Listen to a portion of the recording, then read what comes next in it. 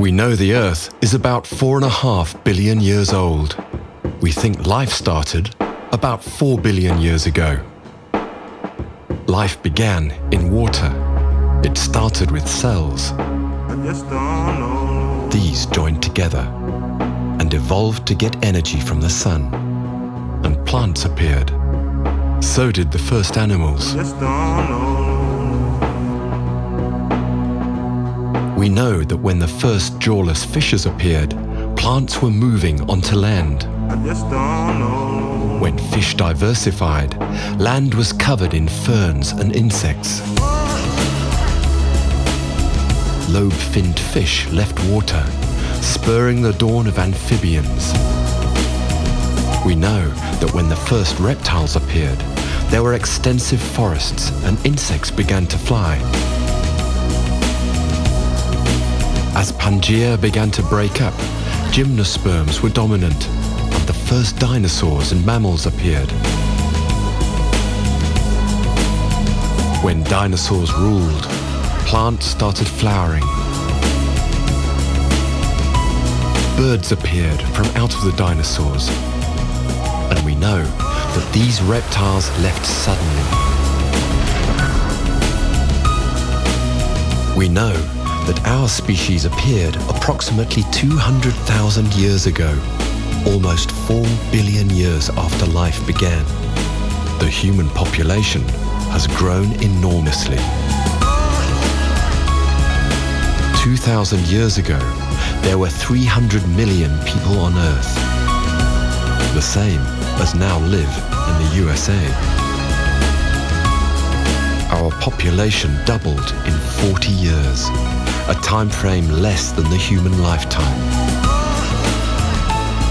In 2010, there are just under 7 billion of us.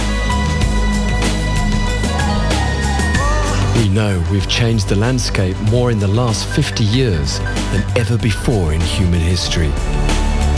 That the 6 to 30 million species we now share the planet with are under more and more pressure that we have caused some recent extinctions.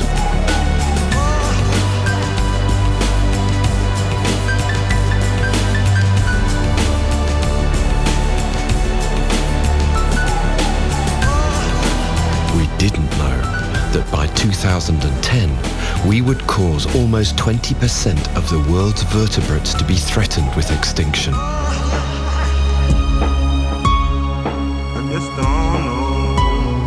That all vertebrate populations would decline by 30% over four decades.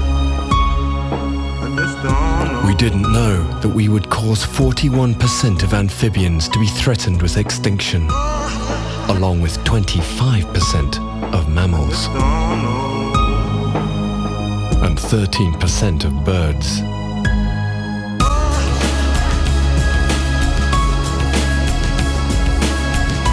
Didn't know that we would cause 22% of reptiles and 15% of fish to be threatened with extinction.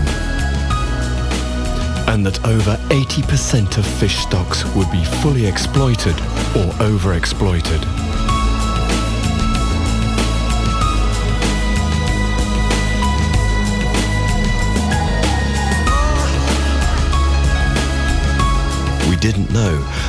Pressure on ecosystems would cause extinction rates to be a thousand times that of the average in the fossil record.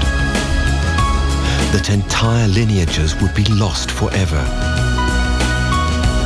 We didn't know that with climate change combined with other threats, we are set to lose more than a quarter of all life on Earth in this century.